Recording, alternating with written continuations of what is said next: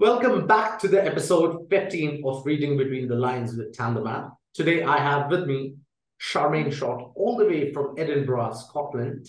She's the founder of Etaverse and Women of Crypto Art. She also has done a lot of work on diversity and inclusion. And we're going to talk a, a lot about all of that in this interview. It's great to have you with us, Charmaine. Thanks. It's great to be here. Absolutely. Um, so for the people that don't know you, Charmaine, why don't you go ahead and give us a brief introduction about yourself? So I've been working in the IT consultancy industry and financial services for over 20 years in senior management positions, delivering IT programs across government, banks, and retail. And I got very frustrated with the bureaucracy and the pace that some Web 2 projects go at. So I decided to um, leave and set up my own business. So ah. in, in 2019, uh, I first got into cryptocurrency. And at the start of 2020, uh, there was a, a, global disease that we all know about. And I had um, booked a holiday to Florence in Italy because I love art and I was going to see some of the famous art galleries there. And when everyone got locked down, that was then cancelled, and I had a lot of spare cash in my wallet, and I wanted to know what to do with it. So I started buying NFTs, um, which were you know one of one artworks, and they were very affordable at that stage. I was buying NFTs for eleven dollars, you know, in ETH. Because Ethereum was only worth about two hundred dollars back at that time. So it was a very good time to get into it. And that's how my, my passion for the metaverse really started was um, through thinking of ways that people can actually display their NFTs when you're in a lockdown situation and you can't show your art to visitors at your house that's on your wall. You have to show your art digitally.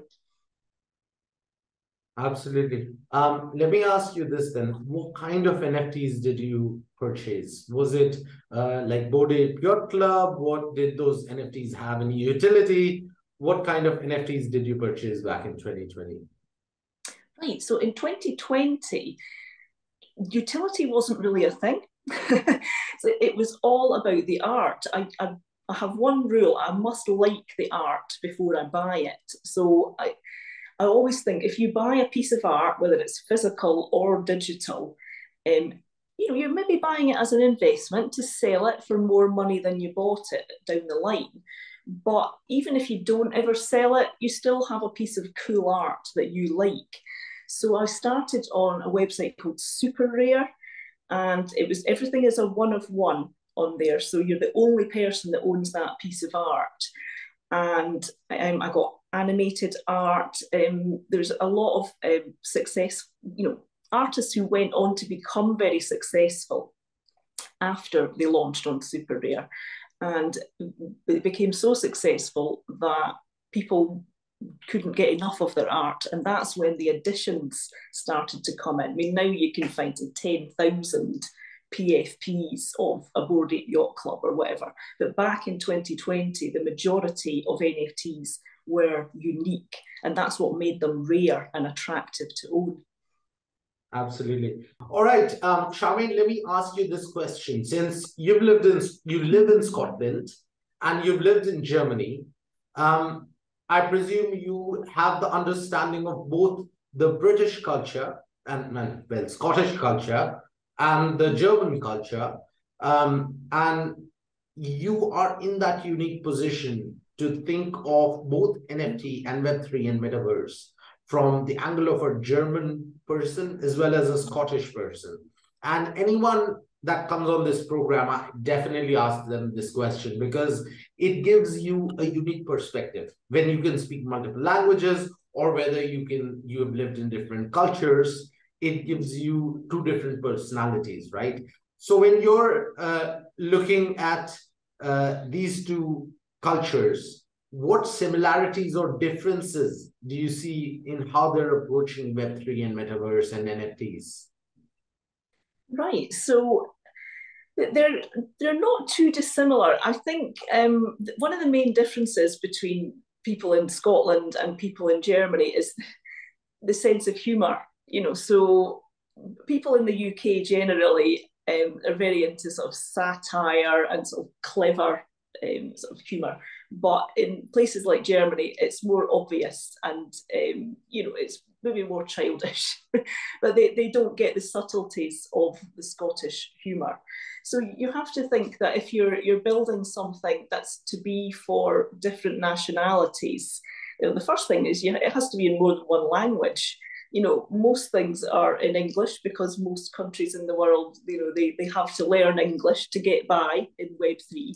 But there should be a way that people can communicate and have communities in their native language Absolutely. Um, do you think Scotland is utilizing the NFT technology quick enough? I'll give you an example. One of the leading industries within Scotland is the alcoholic industry, right? Scotch industry. Do you yeah. think they are utilizing the NFT technology? Because essentially, uh, there is one part of Scotch, which is the consumption side, and then there is the collection side of scotch, right? A lot of people collect mm. 50 year old, 50 year old scotches and stuff. So do you think those breweries are using NFTs to their full potential? Well, yes, um, maybe not the full potential, but I can think of at least one example. So there's a very popular NFT artist called Trevor Jones. He comes up in the top 10 NFT artists. And he recently did uh, an artwork. It was an oil painting with augmented reality in it. And it was all to do with the Macallan distillery. So, Macallan's a very famous brand of uh, malt whiskey in Scotland. And so the, this went to one of the auction houses. So people were bidding on this cask of very rare whiskey, right? and they were going to get the oil painting and the NFT to go with it. So this would prove authenticity and ownership of that cask of whiskey. And I, I don't remember exactly how much it sold for, but it sold for millions of pounds. so, so that was a really good example. And I remember the NFT artwork was quite beautiful because it was abstract, but it had things like things to do with the distilling process, you know, the, the bells. And, and there's a thing in whiskey distillery called the angel's share, um, which is that if you've got whiskey in a barrel for 12 years, say, then some of it will evaporate. And so you maybe fill the cask originally, but there's less in it.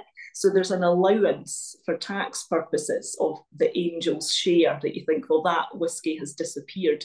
And all these different elements of the whiskey were included in the work of art. It was quite beautiful and, and quite groundbreaking.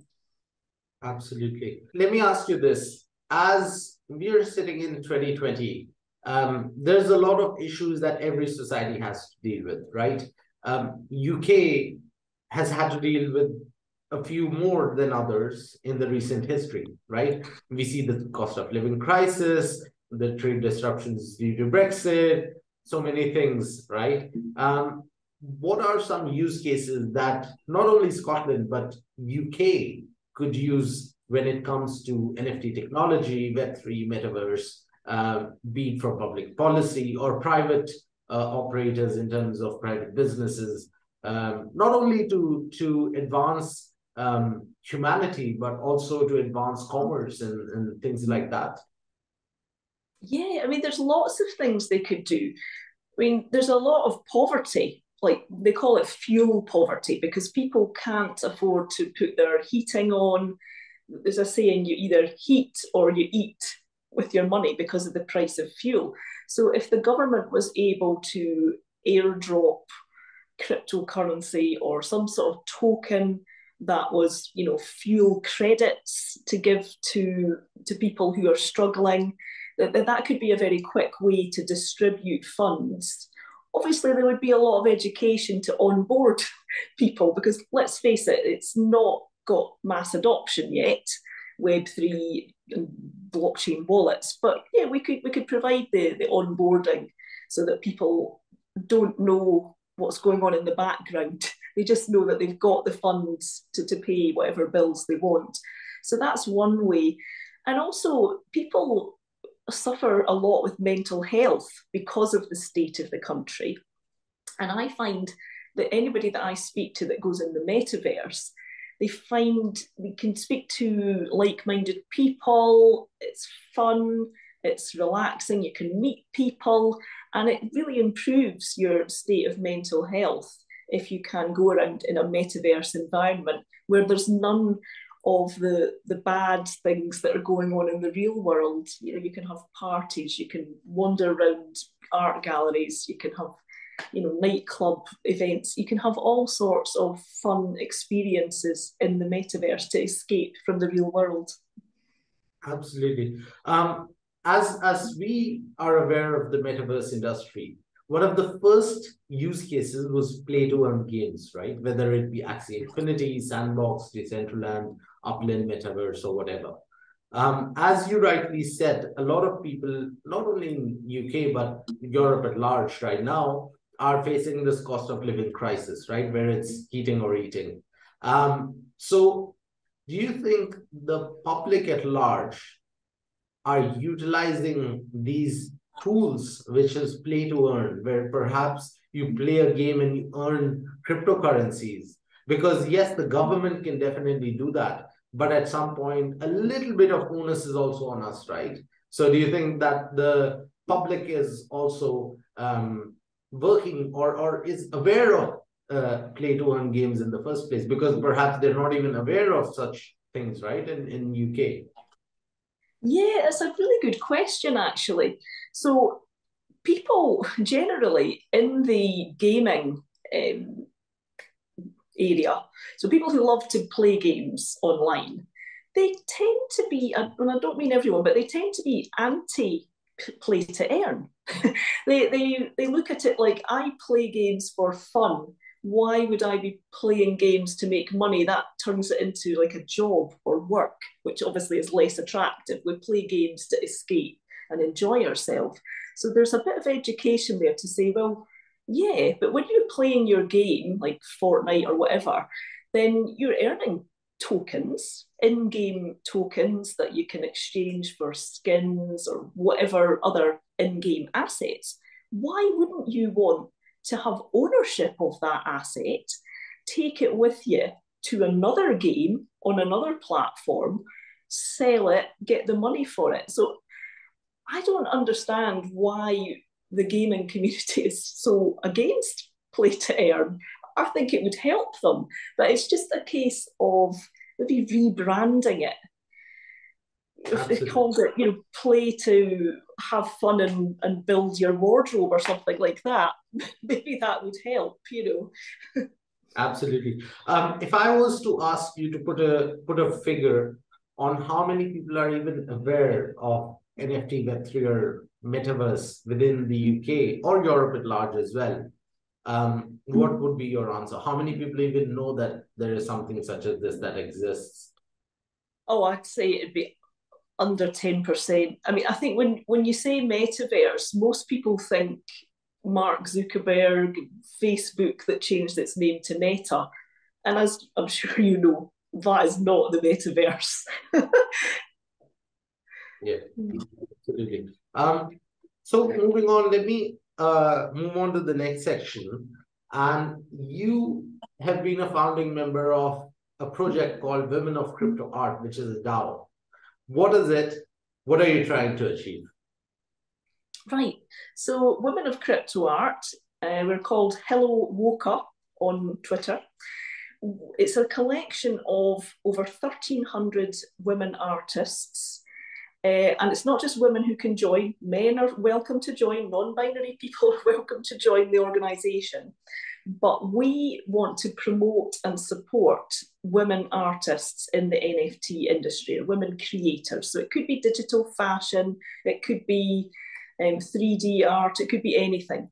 And what we do is we put on collaborative exhibitions in various metaverses like CryptoVoxels, Decentraland, Sandbox, anywhere really.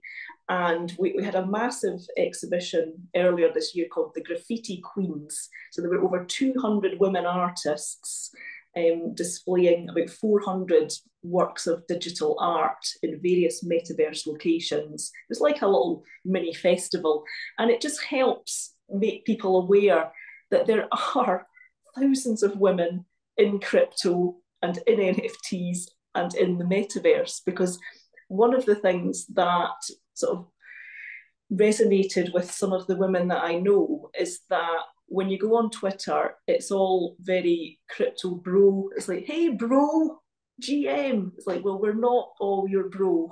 Many of us are women. Um, and it just tries to raise the awareness that there are thousands of women there. Absolutely. If you like the video, please hit the like button. If you think what's being discussed is nice and you'd like to join the discussion, please comment below. And if you'd like to stay updated, please subscribe to our channel and hit the bell icon. Thank you. Um, do you think the representation of women within not only crypto, but even metaverse, NFT, and Web3 as we speak, is to a level that you find and generally women find satisfactory? No, well, I actually had to write a white paper on the subject because I felt quite strongly about it. I wrote a white paper called Inclusion, Diversity and Accessibility in the Metaverse. And this was because in the early days, I was invited to a round table in a metaverse, which I will not name. And the, discussion was to be how can we get more women to use our metaverse? So I turned up for this you know, web, webinar thing in the metaverse, choosing my avatar, the only avatar available was a white male. Uh, and I, I sort of messaged the, the coordinator and I said, Well, how do I choose a female avatar? And he said, Oh, there isn't one. I said, Wait a minute, you want a whole bunch of women to stand around this table in the metaverse talking about getting women into your metaverse? You're really not meeting our needs. And he said, well, yeah, it, it is a use case on the backlog, but we didn't see it as a priority. What? So I, didn't attend that roundtable because I thought, well, no, I'm going to boycott your metaverse. You're not meeting my needs. You failed at the first hurdle. Shortly after that, they did realise their mistake, and there was then a female avatar available. The, the other thing that bothers me with some of the games is most of the female avatars they look like Lara Croft. You know, the massive boobs, unrealistic figure wearing a bikini. I don't want to wonder about the metaverse looking like that. I want to be a real woman, a normal woman. Um, and I think it's quite dangerous for for sort of younger females to think that that's the ideal and that they have to look like that in order to be popular.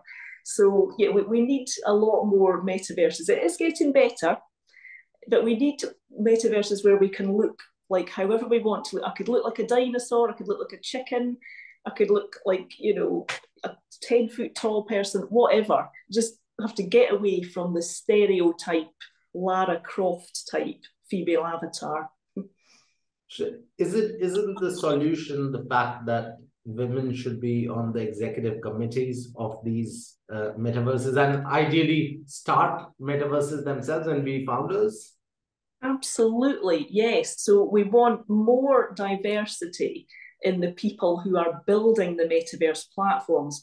We want women, non binary people, people of colour, people of different religions. We want people with disabilities. We want people who speak different languages different religions. We want everyone to have a say. Uh, I mean, I've heard um, stories about um, some black ladies that I know, very nice, and uh, but they have they have big hairstyles, right? And when they were wearing like the Oculus Quest VR headset, the the strap was snapping because you know it wasn't good enough for their hairstyle. So, and you know, who tested the Oculus Quest? Oh, white men. Mm, that explains it. So there's all these types of things. You need to get the diversity of people designing the products to make sure that they're suitable for everyone. Absolutely. Um, moving on, let's talk about Etaverse. Etaverse is your startup, right? What yes. is Etaverse and what are you trying to do with Etaverse?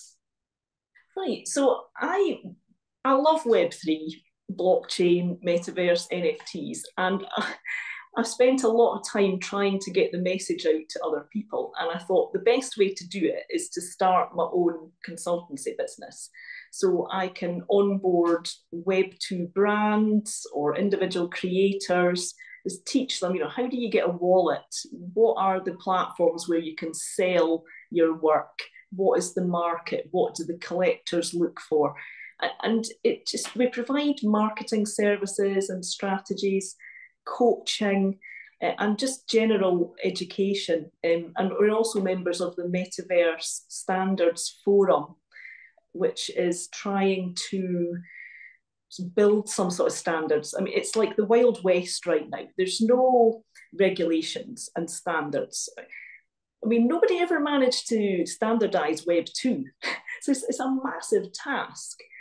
But we're hoping that if like minded people come together in working groups and decide, you know, what is the best way forward for, say, digital fashion standards or any other area of the metaverse, and just make some agreements. And these will be voluntary things. We, we don't want to go down the regulation route where we're saying you must do this or you will be punished. We want people to step up with their ideas and just decide collectively on this is the best way. Because what we're building now at the start of Web3, where we're so early, but we can shape this thing with learning from the lessons in Web 2 that wasn't very inclusive. Absolutely. Um, so as as you gave me a brief introduction of what Etaverse is, Etaverse is a consultancy and marketing agency, right? Yes. Um, and you you've extensively worked and talked, even in this interview, about getting more women in in uh, the metaverse and Web3 and working on that diversity and inclusion, right? So if someone's listening to this uh, interview and perhaps a woman or person of color or member of lgbtq plus community um, and they're listening to you as a consultant. What's your advice to them on how they can perhaps start their own metaverse or work um, at an executive level um, within a metaverse so it looks representative of them as well and not just the the people that are building that metaverse yeah so web3 is all about community and i think it gives equal opportunities for everyone to get involved. So if anyone is interested look for these groups on twitter or discord. Join you know they usually have a discord group. Get involved there just say hey i'd like to help. How can i help you? Because a lot of people when they come into web3 they think what's in it for them but it's not what web3 can do for you it's what you can do to help the communities in web3 and if you're willing to start by volunteering your time and say well i've got a few hours a week if you've got some ideas or you're having a workshop i'll join in just get involved and you'll find that everyone is really welcoming and really friendly and they, they love the ideas coming in. So that's that's the way to, to get in there. Most of the projects I've got involved in in the, the metaverse have been by accident. I've fallen into it. I've been in the right place at the right time. Someone was having a conversation and I just got involved. And, and nobody tells you, no, you we don't want your opinion. It doesn't work like that. Absolutely. Um, so, you know, a lot of the aspect of Web3 and metaverse, um, as you say, that people should sort of try to get involved, right? A lot of that depends on your skills and capability to do work with 3D items or designing 3D items. Do you see the skill shortage in sort of working with these softwares, whether it's AutoCAD or PSD or Unreal Engines or, or any of these other um, softwares, right? Do you think that that uh, skills gap is one of the biggest issues and if it is, do you think the government has a, a, a role to play in at least um, trying to work with this? Because we all know that UK government had a very successful apprenticeship program, right? Um, where they helped young uh, people upskill themselves by getting apprenticeships. Do you think that they should be working on something similar for Web3? Absolutely, yes. There is a skill shortage. So I am involved right now. Uh, I'm doing the marketing for a project called Lost Paradigms. It's a, an NFT Twitter banner style project, which is very popular. We have a very talented dev team. We've got four devs creating the smart contracts, building the, the website with all the allow list rules. It's very complicated. And these guys are very much in demand. Anybody who has any sort of solidity skills or any other sort of blockchain development skills, highly in demand.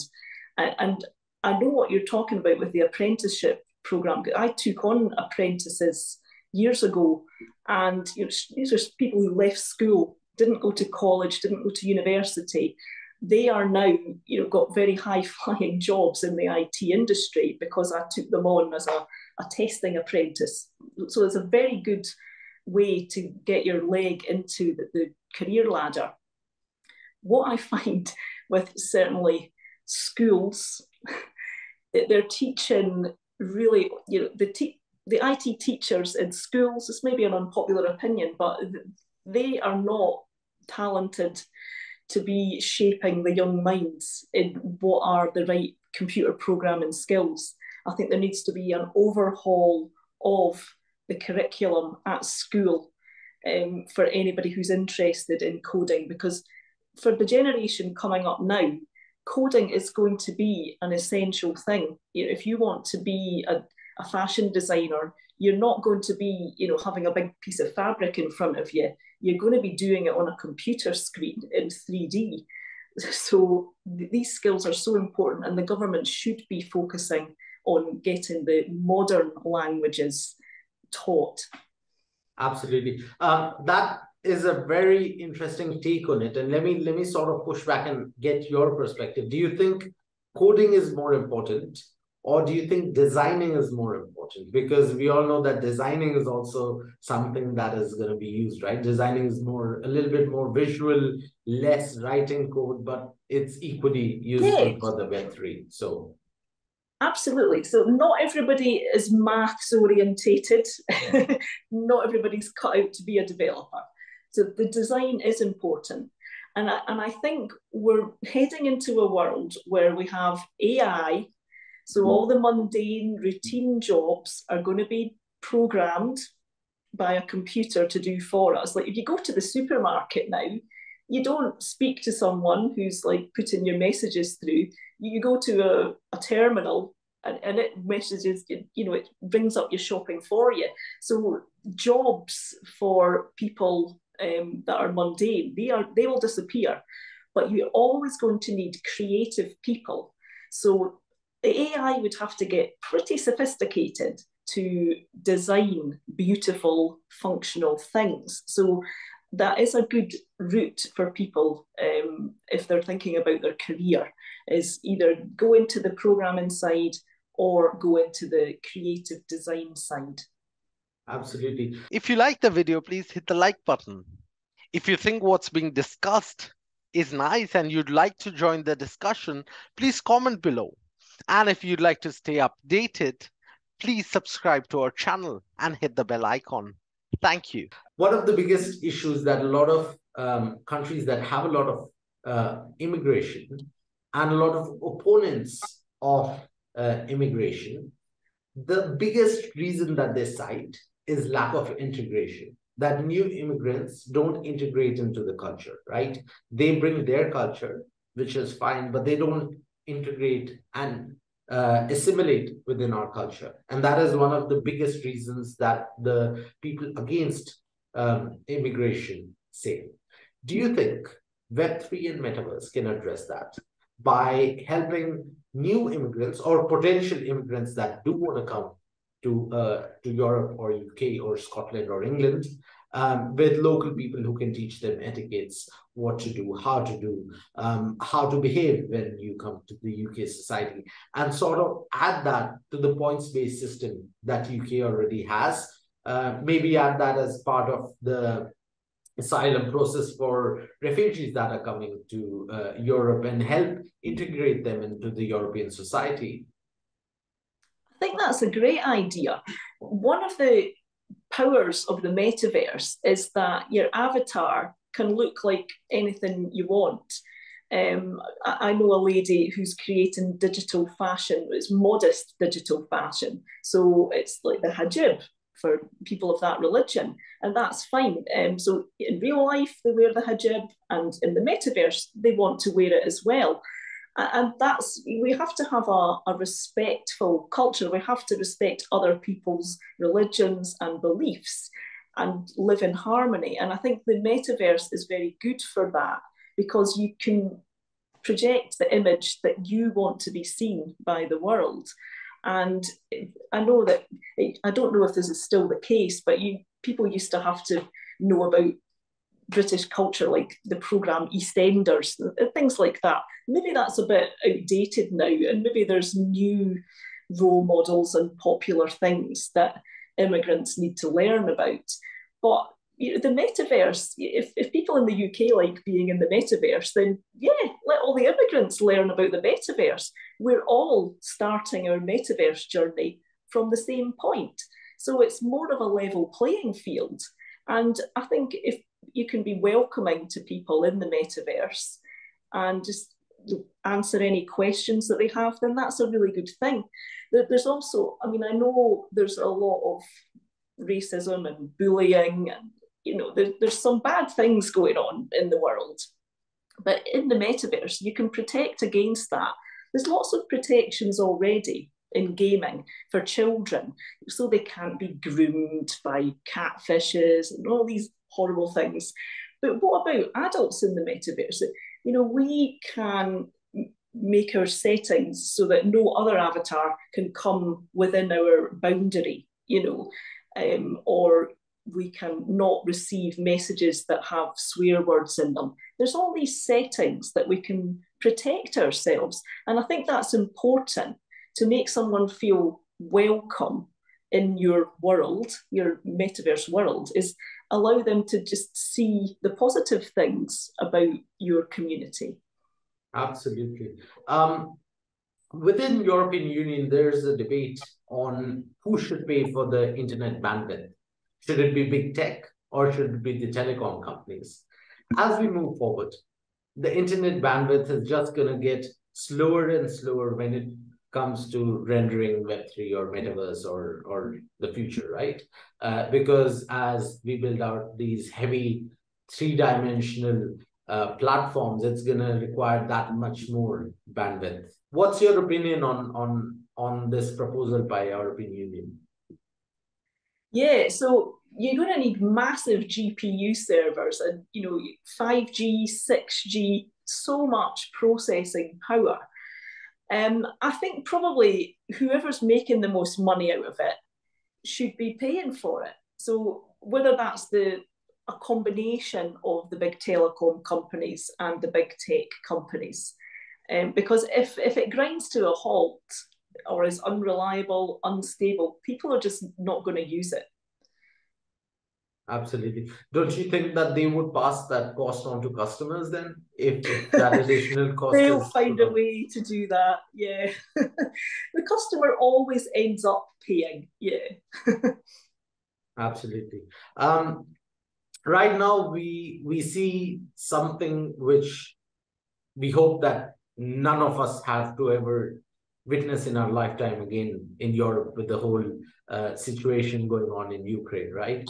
Um, and and with the entire energy crisis that's going on, do you fear Europe may be left behind in the Web3 race because Europe is right now dealing with um, the energy crisis, and especially in Germany, where it's really badly affected, uh, where all the resources are being diverted to uh, essential services such as hospitals or fire departments or, or essential services like that, right? So, do you see that having an impact for the next two to three years, which are crucial for um, playing catch up for Web3? Yeah, in a way, it's a bit like the, the race to be first on the moon, isn't it? so every country wants to, you know, plant their flag in Web three. I know in Dubai and the United Arab Emirates, there's a lot of money there and a lot of effort going into building out Web three. So I think they are ones to watch for being leaders in that area. Uh, but yeah, I mean, it's it's a tough is what they call like a, a horrible problem, isn't it? You know, do do you have your hospitals running or are you building the future? And, in, in a way, you, you have to be very clever with your finances and find a way to do both. Absolutely. It's it's uh, great that you mentioned United Arab Emirates because UAE not only is building 40,000 metaverse jobs, they have a metaverse ministry and a metaverse minister. The job of that metaverse minister is not only to work on the metaverse, they are going to operate within the metaverse. Wow. Do you think European countries are behind the curve and do you think they should catch up? Absolutely. I mean, I think I mean last year, or maybe it wasn't last year, the COP26 um, conference, right? So this was all about global change, the ozone layer, all that. And there was leaders from every country around the world all came to Scotland for COP26. I mean, for, apart from the money um, that that cost, wasting government funds of every country and spreading germs, whatever, um, all that could have been done in the metaverse. People could have done it from their own country and just met in the metaverse. And I think they really missed the trick. So, you know, flying people all over the world to talk about how do we save the planet was just completely crazy. Do you see parliaments and United Nations ever uh, operating from the metaverse? Definitely, yeah. I don't know how long it will be until it happens, but they will have to. This is a global arena we have global issues, you know, the energy crisis, the ozone layer. These are things that affect all countries, and it's really unrealistic to expect leaders or representatives from every country to meet in a real life location. Absolutely. Do you do you see all the technology development that is sort of blurring the lines of national borders and national agencies do you see that pushing all of us to a global one world, one village, one government sort of situation? Uh, well, I think there's so many egos involved with countries and governments. I don't think we'll, they'll ever allow it, really. they'll still want their own little empire. Um, but yeah, I think it's a very nice idea. Absolutely. Um, with that, let's move on to the final section of our interview, which is rapid fire questions. Um, this is my favorite uh, section because I get to understand people's thought patterns, how they think and what do they think and, and, and so on. So let me let me get right into it. Um, the future of metaverse, does it belong to big tech or does it belong to companies like Upland, Sandbox, Decentraland, and why? Right, I think the companies that started it, like Sandbox and Decentraland, um, they were the trailblazers. But I think big tech will come and buy those companies and buy all their expertise, so it will end up in the hands of big tech. Do you think regulators would allow that with the situation that's going on with big tech all around the world? Yeah, I, I think there's probably there's ways around it that the big tech they'll set up smaller companies, but they will be the the overall owner. I think they'll find a way around it to uh, work within the regulations because there's no regulations right now, is there? Absolutely. Um, according to you, what will trigger the mass adoption of metaverse in Web3 all across the world? Right. Well, I think when the when more countries implement their central bank digital currencies, which are on the horizon, so I think the governments all resisted it initially, but now they're thinking, this lets us control people's money. Let's do it. And I think you'll find that you're having to, you know, you won't be doing a tax return at the end of the year to pay your tax. The government will just take it out of your digital wallet. Um, and I think that will force more people um, to use Web3 and the metaverse. Do you see GDPR as a threat to metaverse? Because presumably, if you have a metaverse, you could have someone from Europe and someone from outside Europe having a conversation. And the metaverse could be in different places. So, where is the data stored, right? Because potentially both those people having a conversation have a claim to that conversation. The European citizen has a claim to that conversation, as well as the non European Union citizen also has the claim to that conversation.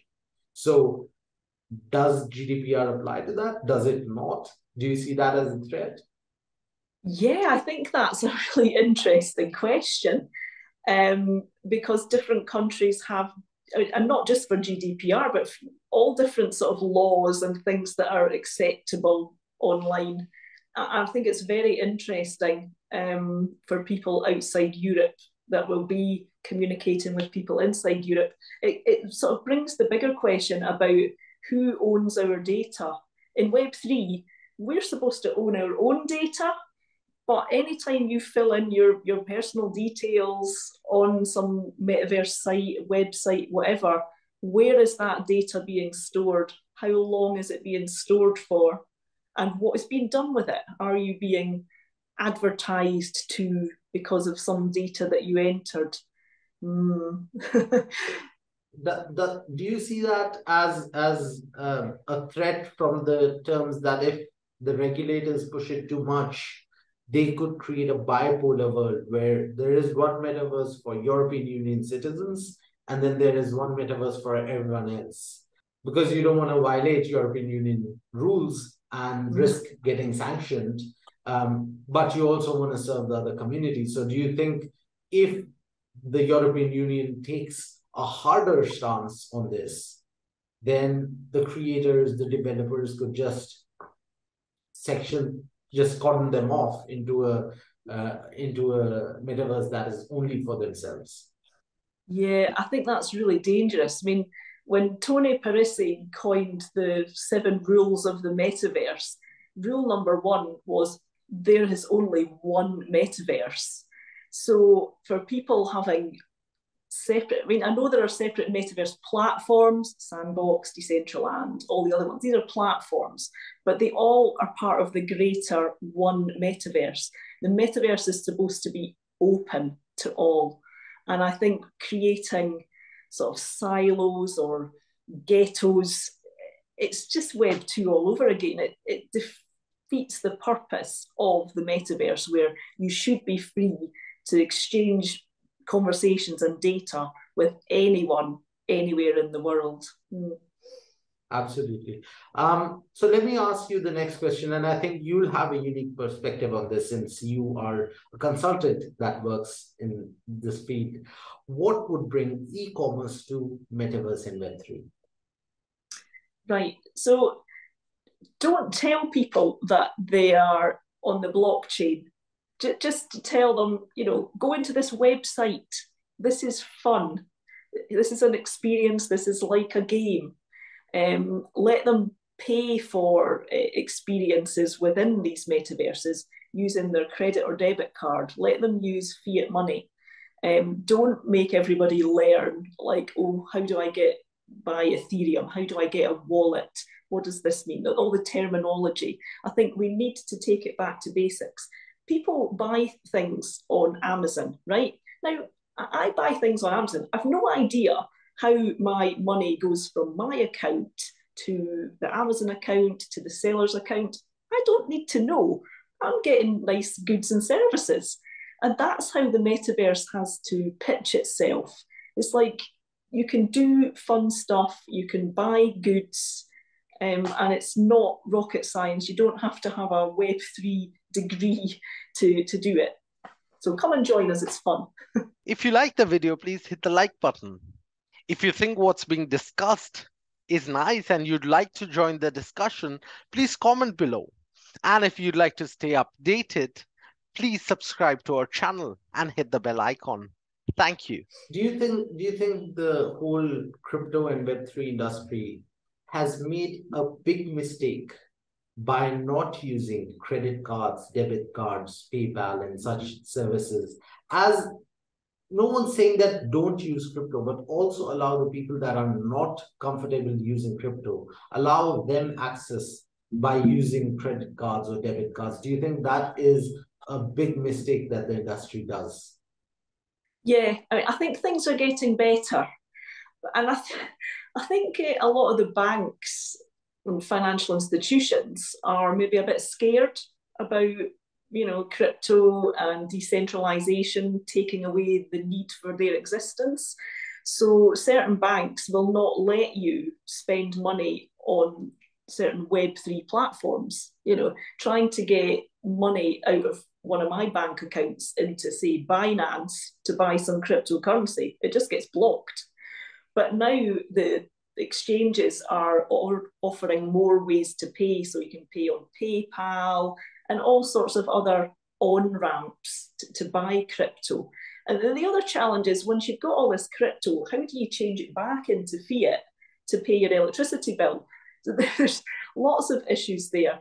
And some of the NFT platforms that were selling the art, like um, there's one owned by the Winklevoss brothers, um, they, they, own Gemini, and they set up this platform called Nifty Gateway, and you could buy NFT art with your credit card.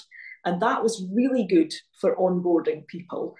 And it was also more stable. So if you'd paid sort of one ETH for a piece of art, that's maybe say $2,000, and then the price of ETH drops significantly, then it's like, oh, I've lost money on that piece of art already. But if you bought it in pounds or dollars, then the price of it is stable. Absolutely. Um, do you see election campaigning happening in the metaverse? Ooh, yeah, absolutely. Um, I think that's a really cool idea. I've seen all sorts of things in the metaverse. I've seen demonstrations. I've seen um, celebrations of life at people's funerals. I've seen all sorts. So yeah, I think campaigning would be good. I think um, advertising in the metaverse, you know, in, in real life, you get these billboards saying, vote for us, we're better than the other guys. You could easily do things like that in the metaverse and have like these sort of question debates between the, the two parties with an audience. There's lots of nice arenas um, in the spatial metaverse where I have a couple of galleries. Um, there's a lovely arena called the CR NFT arena, and you, I attend a lot of events and there's people all sitting because it's spatial. Your avatar can sit down. It's really cool. Um, and you're listening as if you're in some amphitheatre. And it's, it's a really good way to keep up to date with uh, politics. Absolutely. For your experience, and I presume your experience will shape your opinion, um, who do you think will win the future of metaverse? Is it VR or is it AR? I think it has to be AR. Um, I think there has to be like a layer on top of real life. I can't wear a VR headset. A, a lot of people get motion sickness. I feel I'm going to fall over. Um, and there's also limitations with the hardware. It's very heavy to wear a VR headset. You can only wear it for like 45 minutes at a time and you get neck problems. So I think if you've got your phone and you, you're walking along the street and then suddenly you're wearing this digital outfit on your phone, that's really good fun and practical. If you're going to buy some real clothes to wear, want to see what it looks like on you, you superimpose it um, in AR. I think that's definitely the way to go. Okay. Um, let me ask you this question then. When it comes to immersiveness of metaverse and Web3, would that then be VR headsets or holographic projections? Oh, wow. Oh, holographic projections would be amazing. I mean, and why not? Yeah. Absolutely. Um, since you do work with art, and and I presume you work with fashion industry a little bit as well. Um, yeah. How far, from your experience, do you see haptic suits from being reality? Yeah, I I think that's uh, I think that's going to happen. Yeah, definitely. Um, everything takes time to develop. I mean, a lot of the digital fashion people that I work with, um, yeah, you, you can you can buy the item of clothing and hang it in your wardrobe in the metaverse, but they haven't quite got the technology in some cases for your avatar to wear it and move around. So there's a lot of work to be done. Um, I mean, people in gaming, they, they wear skins on their avatar and, and that works very well. So yeah, I think this is definitely a, a growth area for the future. Absolutely. Um, can Metaverse and Web3 aid in bridging social justice in society?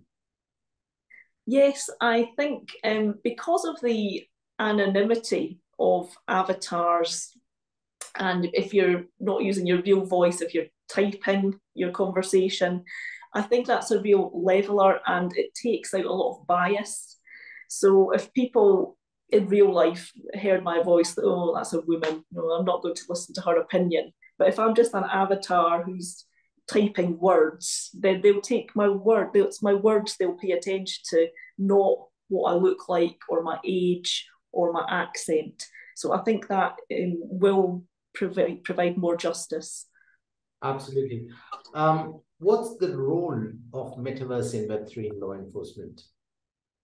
Oh um, so I think, yeah, there's lots of things that can be done um, to make people behave properly in the metaverse. So if, say, someone in the metaverse is bullying another person, then you could, um, you know, delete their avatar from that metaverse. You could fine their wallet money. You could give them a timeout. You could, you know, put them in metaverse jail there's lots of um, things you could do. I mean, arguably, this is getting into the ethics side of it, but you you could, yeah, there's lots of things you could do. You could um, put that avatar in sort of a metaverse jail.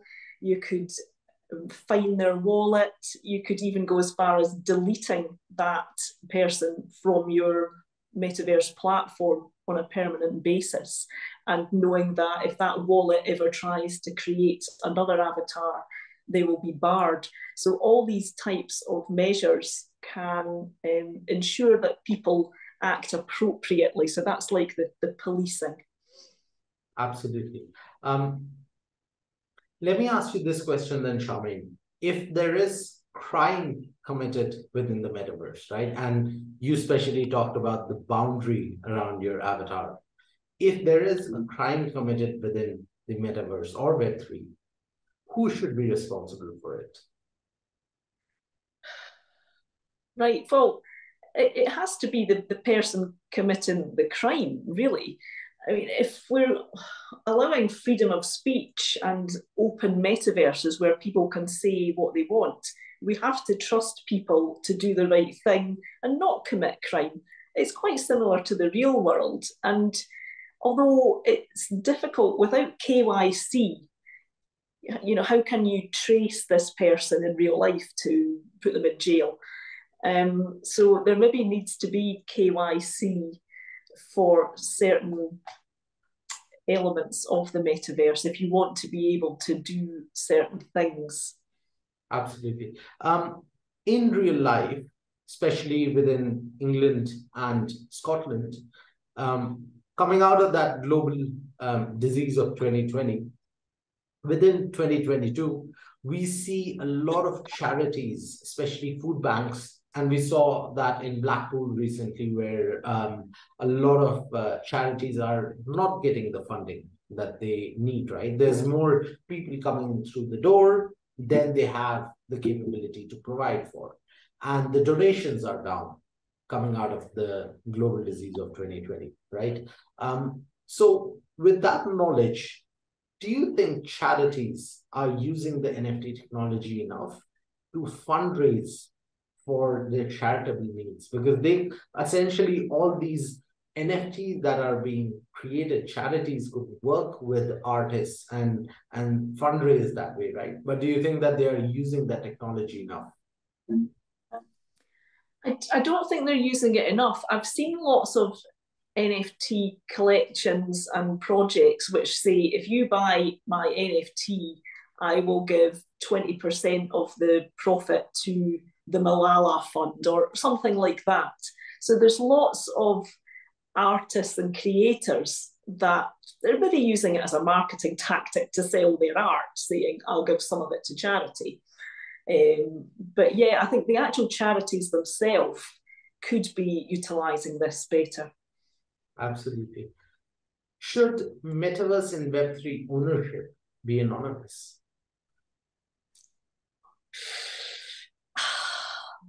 I'd like to say yes, but then you, you get into all the criminal things as well, don't you? So we've seen lots of rug pulls, you know, the FTX. I've, I've been burnt by um, the, the collapse of the Terra Luna blockchain, all these things. So to protect people, I think really if you want to do any sort of financial transactions, there should be KYC it shouldn't be anonymous. You will still get fraudsters, but it just makes it a bit more difficult for them than the anonymity aspect. Absolutely. Um, let me ask you this question. How do you navigate a bipolar or a multipolar world, right? Where you see there is an East-led camp and then there is a West-led camp. And as we go more within technology, there is more and more uh, fight for dominance between China and US, right? Um, mm. And and as a consultant, especially that someone who's working with the metaverse and Web three, how do you navigate this? Because potentially a lot of growth is also in Asia, um, and a lot of growth is also in Europe. So how do you balance that uh, from metaverse from metaverse's perspective? Yeah, so that's an interesting question as well. I mean, a lot of my clients are interested in environmental issues and, you know, obviously Bitcoin mining, proof of work, it's quite intensive on the environment and things like that. So anybody who, any countries that are using sort of green technology, like I know, I think Texas has you know miles and miles of fields of solar panels to generate electricity for Bitcoin mining. So, so that sort of initiative would make people go more towards the US technology. And other countries, it depends how transparent they are about what they're doing. I mean, you know, China is often not the most transparent in working with other countries. So we're not really sure what they're up to with their operations. But yeah, it is. There's pros and cons of different uh, countries that are leading it, and and I think it's good that no one country is leading it, um, because then they would be pushing it down their agenda. Absolutely. Um, are venture capitalists investing enough in metaverse and Web three? I think they they need to see what their return on investment is going to be. I've seen a lot of new metaverse platforms come and go um, because they couldn't get the funding. So it's very unfortunate because they've got really good ideas, very inclusive, beautiful graphics, but they don't have the money for the massive GPU servers needed to run those metaverses if you have thousands of visitors in it at the one time. So I think venture capitalists, what what platform owners need to do is explain better what the potential is because it's huge and if a little bit of investment now from venture capitalists could be the next roblox or the next massive metaverse so yeah it's definitely an area venture capitalists should be focusing on absolutely well that concludes the episode 15 of reading between the lines with Tan The Man this is Charmaine Short from Etaverse, the founder of Etaverse. She's also been involved with Women of Crypto Art, which is a DAO, and she's a member of the Metaverse Standards Forum. It was a pleasure having you, Charmaine, with us. And oh, thank you for having me. Absolutely. We hope to have you again. Before I end this interview, I just like to leave you with a single thought that I leave you with after each interview. You be the arbiter of truth, the viewers of the Metaverse Street Journal. Thank you, Charmaine. It was a pleasure having you here. Thank you. Bye.